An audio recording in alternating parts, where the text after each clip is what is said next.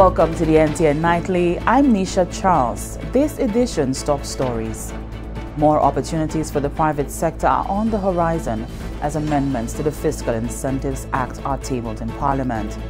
The NCPC forges ahead with its online productivity measuring tool. CARICOM heightens surveillance of fake drugs. All that plus the latest in youth development, sports, and the NTN Nouvelle are en More opportunities for the private sector are on the horizon as amendments to the Fiscal Incentives Act are tabled in Parliament. Minister for Commerce, International Trade, Investment, Enterprise Development and Consumer Affairs, Honorable Bradley Felix, says the amendments will allow for the service sector to capitalize on emerging opportunities and trends globally. In its current format, the Act offers a range of incentives to manufacturing entities and includes tax holidays for a maximum of 15 years, waivers of duties, and consumption tax on important plant machinery and equipment.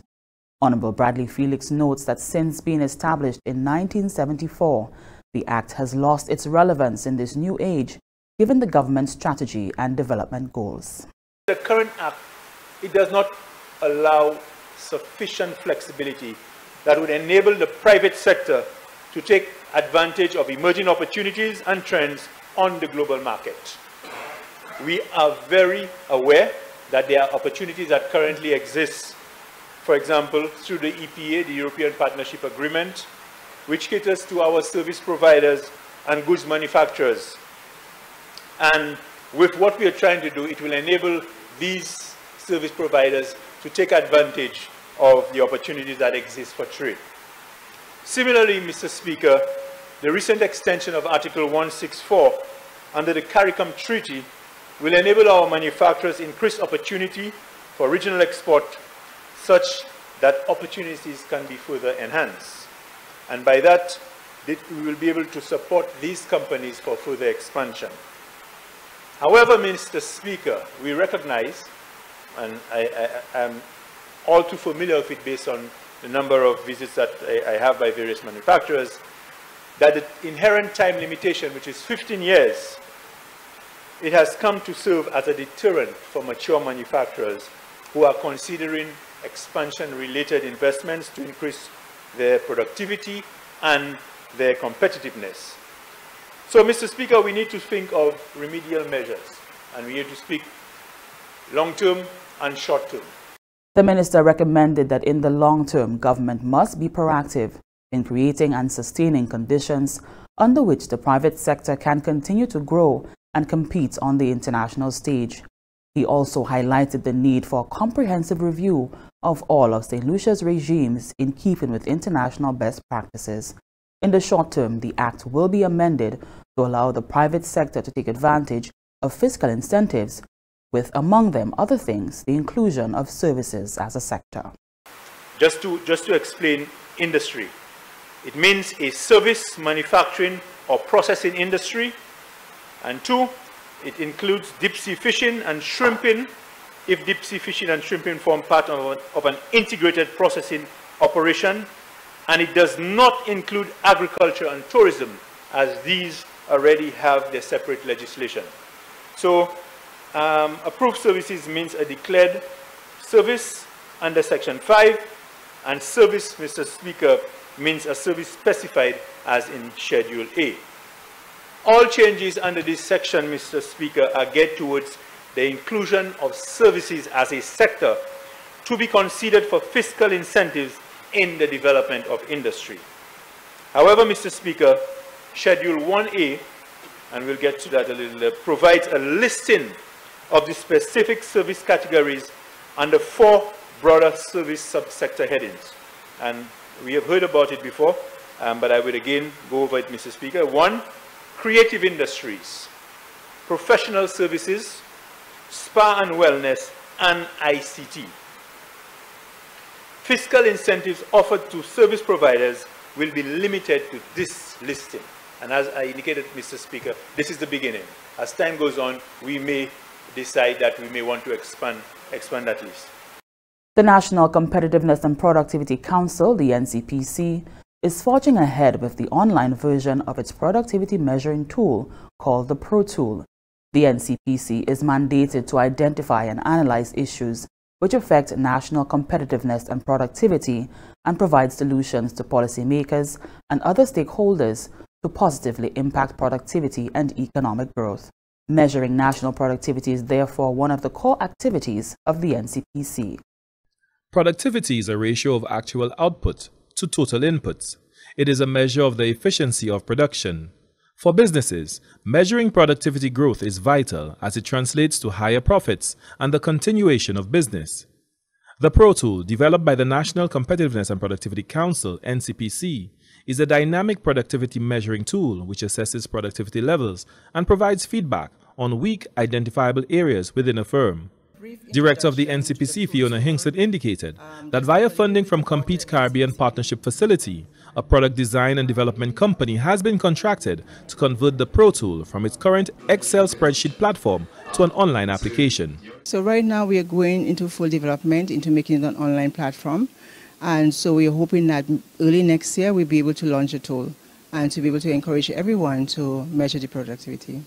FASOLV is a product design and development company out of Trinidad and Tobago, contracted to develop the online version of the Pro Tool while improving the customer experience and final output. Azim Abdul is the external director with FASOLV. So what we're going to do is actually we've decoded the Excel uh, data sheet and we have our developers actually figuring out what are these kinds of formulas that people are working on. So we're at step one right now, which is actually engaging people with the Excel sheet as it exists right now, to just to find out if it's actually useful in that form. And at the end of today's session, what we found out is, okay, there are a lot of things that need to be tweaked. So our, our first goal is actually figuring out which ones we're going to tweak, which ones we're going to leave alone, because time and resources permitting. Uh, the next step after that is actually creating a web platform itself. From November 20th to 22nd, consultations were held with a cross-section of stakeholders, both in the private and public sectors, soliciting their feedback on possible improvements to the updated version of the Pro Tool. The Pro Tool is an innovative, first-of-its-kind product for St. Lucia and the region. Managing Director of Convert Solutions, Inc., Terence Elliott, said using the Pro Tool is a key to getting a blood test, analyzing the results, and taking the necessary action. I believe that information is powerful. It is, it is key for business development. So any company looking to assess their performance and project into the future, correct their, improve on their, on their, on the operations, it will be something that would be hand in hand that they need to have at hand as we go through. Tasia Judah highlighted that the Pro Tool could be employed effectively within the two businesses that she's involved in, Island Adventures, a touring company, and Solar Connections, a solar energy firm. Solar Connections, it will help us in terms of how quickly we move stock and decide what are the problems that are stopping us from meeting goals um, that we may have set, whether it be short term or long term. And Island Adventures, Island Adventures provides a service. It also helps a company like that um, where it comes to sales, customer experience, um, efficiency. So how we use our assets to carry out those services, it would give us a lot of insight uh, into, into those things and helping our operation just overall. Consultant with Compete Caribbean, Dr. Karen Swift, said Compete is pleased to continue providing support to the NCPC Compete Caribbean's main purpose is to promote and stimulate the development of Caribbean economies through supporting the private sector.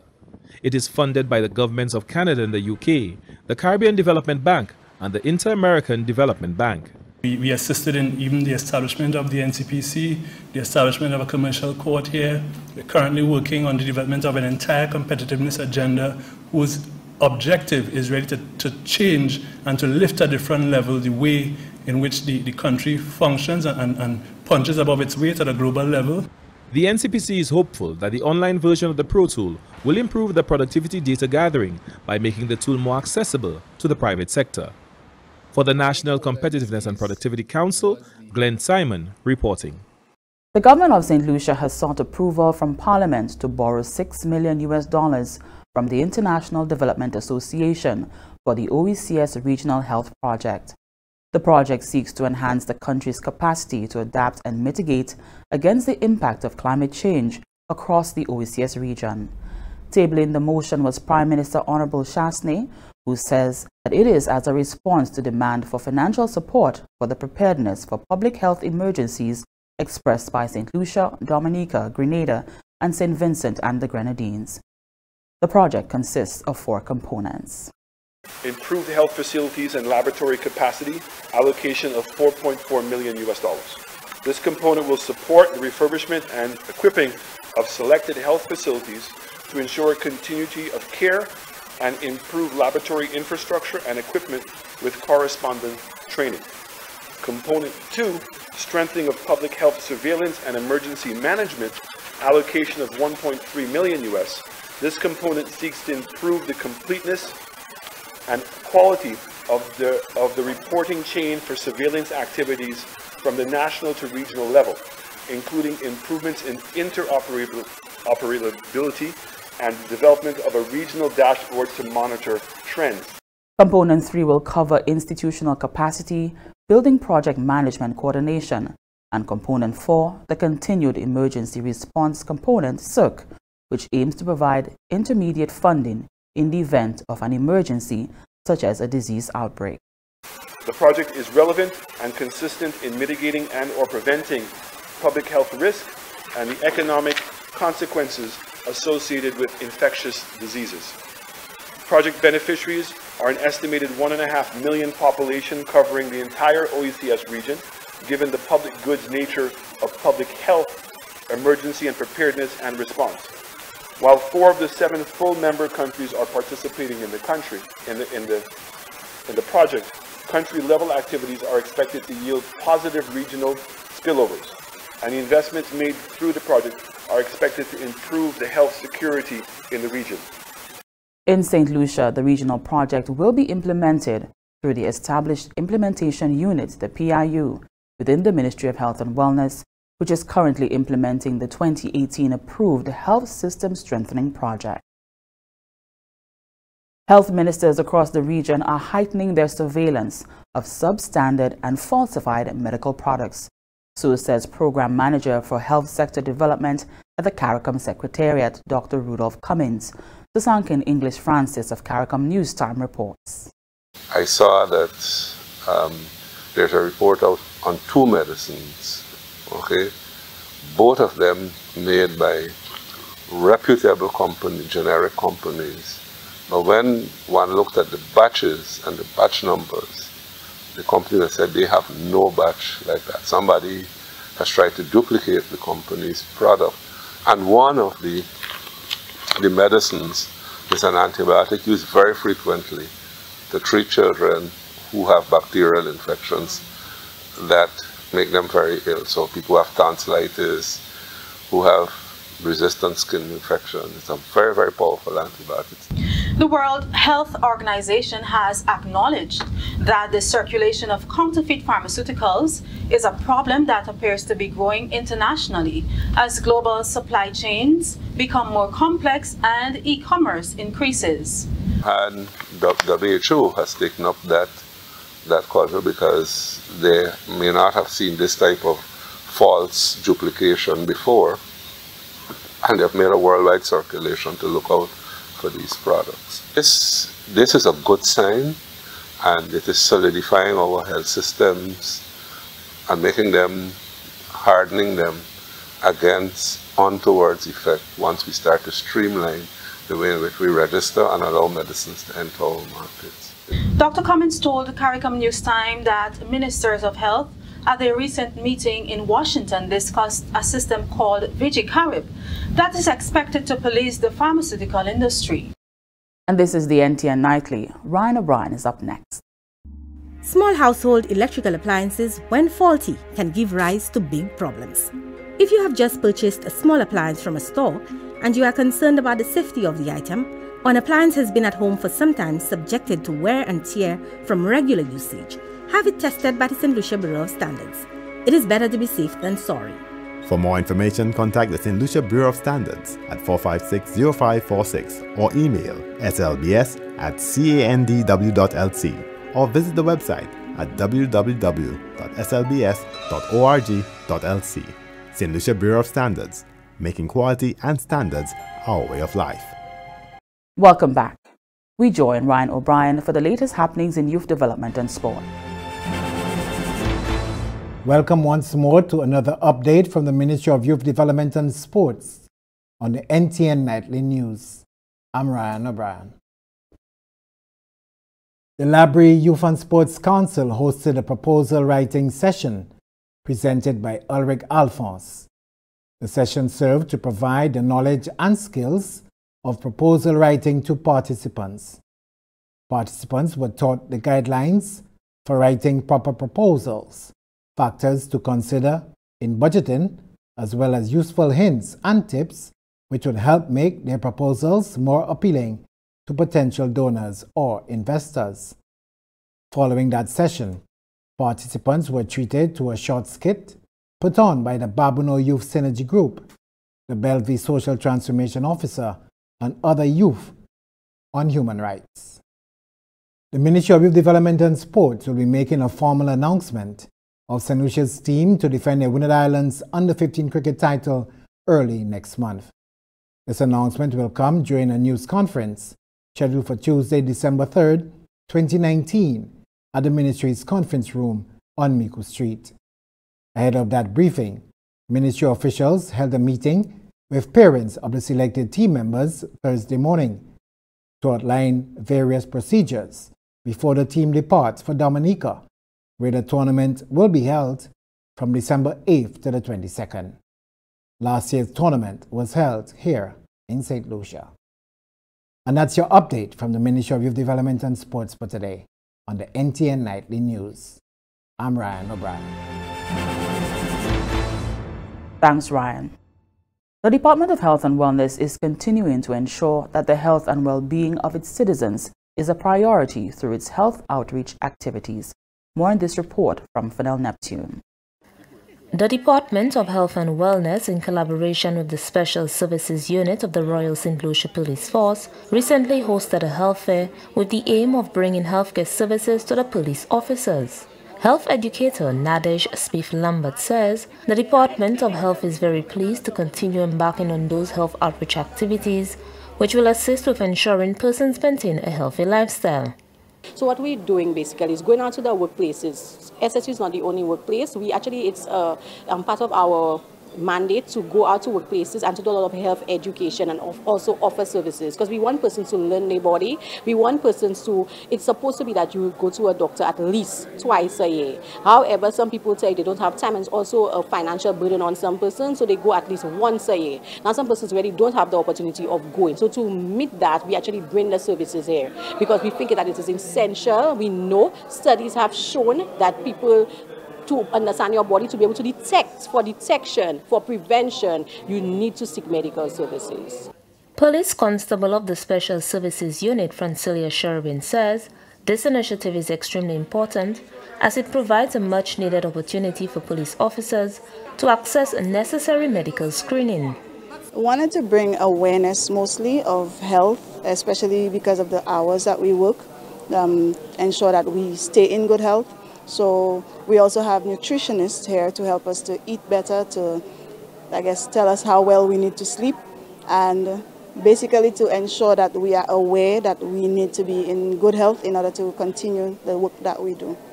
The health fair offered services such as blood pressure and blood sugar testing, eye tests, BMI checks, HIV and syphilis testing, among others. Reporting from the Communications Unit of the Ministry of Health and Wellness, I am Fina Neptune. And stay with the NTN Nightly. Up next, Primus Hutchinson is here with the NTN Nouvelle Arqueon. Poin pokosyon, ek fè tout sa ou ni pou fè pou sove dlo. Lave bagay sal adan anbe sin dlo, pa kite dlo a koui. Osi, pa kite dlo a koui, lè ou ka chiwe pan. si toilet bowl ou ka kole, ou ni pou mette ten an di de bak la. Toilet bowl la ka koule si ou ka we koule a de bowl la avan ou floch li. An toilet bowl ki ka koule ka gaspye a chay glou. Servi a bom pito an hoz pou lave motoka. Le ou ka lave had, servi dlo we se a pou ouze fle ou. Le ou sove dlo, ou ka bese manye a, ou ka servi tepe waman. Sove dlo tout le ou ni an chans. Ek choje tout dlo e pontan. Sa se an komisyon Rodwasko. Welcome back. We join Primus Hutchinson for the NTN Nouvelle Arqueon. Mese medam, Depatman Kini Weskosabilite, we formasyon an governement set le CEGIS. Asome pi televizyon nasyonal pe ya NTN, kapozato Nouvelle Arqueon. Wesato Primus Hutchinson. Yon gwan demache ya fet pou prepare l'opital Owen King pour commencer opération à total. Premier ministre Honorable Alain Chasney présenté yon bill à kay récemment qui n'est pour faire et puis certain amendement pour adresser les officiers publics qui kay ni pour trouver employment à l'hôpital Salah. Malgré la tenue yon lot débat concernant action pour faire l'hôpital là au privé, Premier ministre Chasney déclaré que le gouvernement n'a pas jamais ni plan pour mettre l'hôpital Owen King privé.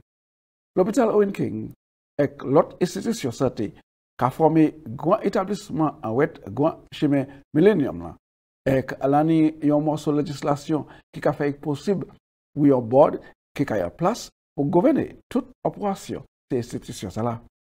Ek osi moun ki ka chache travay. Se lan pou yon mene chasne, pyason ki ka yon avoudwe travay epi fasilite sate sa la, pa ka yon ni pou vwe aplikasyon pou servis publik, me ka yon sa fè sa direktman ni poursuivre ces règles qui sont établies. Le ministre Chasney expliqué que l'arrangement ça là, a préservé les services civils parce que c'est seulement un département service public qui ont officier ça trouvé sorti d'un bureau pour travailler dans l'autre. Mais la partie pièce provision pour un officier public ça trouvé un transfert pour une organisation qui pas en service public là. Ça c'est principalement c'est le premier ministre là pour préserver pension officer sa la. Premier Ministre Chasne bay asirans laki, ofisya kay touve yo an OK yo aba yon wanjman kote si an ka piyes nesesite wive yo sa witoune plas la kote yo te jaka travay avan alo yo baka yon ped pension yo. Se estetisyon sante a ki asou wout gwa chime milenium lan se l'opital Owen King, estetisyon de sante sevel ek estetisyon pour adresser la situation et traitement des problèmes alcool et drogue. Un projet pour préserver toute place de l'héritage pays a commencé, ça a fait, et puis assistance gouvernement Mexique, en bas Agence Mexique pour coopération nationale pour développement et aussi Institut national de Mexique pour anthropologie.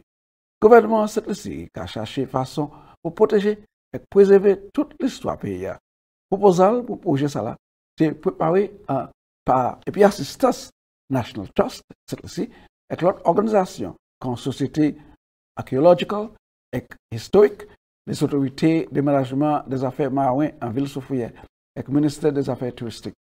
Une délégation des pays Mexique, qui un pays, un pays déjà, pour montrer cette liste, c'est meilleure manière pour ça conserver et protéger diverses places qui ont apporté l'histoire pays. National Trust, là, qui a conservation, affaires culturelles et héritage très important pour n'importe pays. À parmi ces places-là qui a porté la théorie, c'est Pigeon Island, Fiji, Oman, Vallée Dauphin et ces placements d'aménagement de Python. À parmi ces actions qui ont été faites pour faire des assessments, pour structurer, pou determine meye fason pou prezave se evitaj sa la kaj adwese devlopman podwi turistik, posibilite de investigasyon arkeologikal ek ase meye fason pou menaje podwi sa la. Misyon teknikal Hot Mexique kaj osi chache manye pou devlope kapasite les ofisye an peya mem pou wanje viwe mete an nef ek wipati se plasman evitaj sa la. de reprezentatif de organizasyon rasta an pe ya, jabay wepinyo yo konsene demache ki ja an plas pou dikriminalize marijuana. Semen pase ya, plizye reprezentatif governement ek lot ajes ni privi e publik te komble an studio GIS pou te ofisyalman prezante yon konsit ki kay wes konsap pou etabli tout se weg la ek administrasyon ek operasyon business marijuana an set resi. Konsit la ki an ba avoka Michael Gordon ka trouvé en bas juridiction ministre des Affaires Diversement et Business International, Honorable Bradley Felix. Monsieur Paul Francis, ki kondet plime kon Ras Levi, ki se yon mam l'ekosit Rastafari, ekosit se yon mam l'egliz Rastafari, sa se Nayabenge, osi se yon mam aso konsit sala, ekwe se yon twe bon devlopman. Kanabis la marijuana, bagay nou as Rastafari nou sa pase an. Ke sou chanje sa ki fèt an moun jimi. Kouban, se, se ganja epi Rastafari, trapi koyo brutalize, plize manye. Jist toujou la ni moun ki ka sou fè trauma sa, jist toujou. Sou lè nou ka pale about marijuana epi legalization epi framework la. Nou also ka mansyonen an bay kakwe reparative justice. Because pou se moun an konserve an set lisi, Se Rastafari ki actually introduce marijuana pe ya bay moun. Goupan e pe yo vita pe kon yo kon se mouton wè. Black sheep yo kwa kwe yon angle. Oui, so travay komisyonè ya nou kay ale kay koumanse ben soun, Kote nou kay koumanse ka ale se difan komina kay sensitize moun, edike moun about um, industry marijuana. Clement Oche, premier reconnaître qu'on Ras Zebayer, aussi c'est un membre de l'Église Rasta E ki bienveni inisiyatif la osi. Piske mwen kawe um, an chay rasta ale go frou an chay tribilasyon an tan ki pase. Mwen wan yo ha witi an chay di nou. An chay di nou ha li la hol. An chay di nou stilan la jol. An chay di nou ha tape kon nou mò. Ou kopan la peti mariwana ek di fwa bay kon sa. So sa ki ka fet la, mwen wè son bon bagay evi gouvedman invite nou fèm House of Naya Bingé pou patisipe an lè komisyon nan. Mwen wè son an bon bagay wè pou invite nou an sa ki ka fet la. So mwen fè lwèl pou chanje lwa abot marijuana, mwen fil kayon bon bagay, ou an piske sa kay chanjon chay bagay. Wan, komwen di abot la hol pou laje se, se, se prizonye ake la pou mariwana ek nou pa e rele to api kon nou awite e ben victimize bay se polis la because rasta di la yo, yo dou bouton an transport an minibus di la wel si rasta yo te kay kouye avan pou soti ek pou search ek yo hendi tak mariwana di le yo kay awite ou so moun e bon bay ki fet la. Ebe, mese medam, sa se kote nou apon atwa nouvel nou jodia. Mwen ka remese yo otan pou ka gade. Mwen ka vito pou chen epi mwen konsiti. E konseve la vi, nan yay poseto walot nouvel akoyol. Apwe sa, mwen ka vi poseto Michel. Messi uphill Primus. And here's a look at what's happening to us weather-wise. Generally fair skies, occasionally becoming cloudy, with a few showers mainly over the Windward Islands.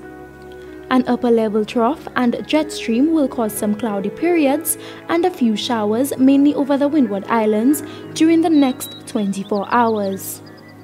Tropical cyclone formation is not expected over the tropical Atlantic during the next five days.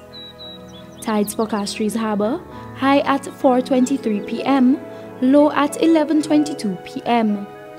Tides for Beaufort Bay, high at 5.30 p.m., low at 12.49 a.m.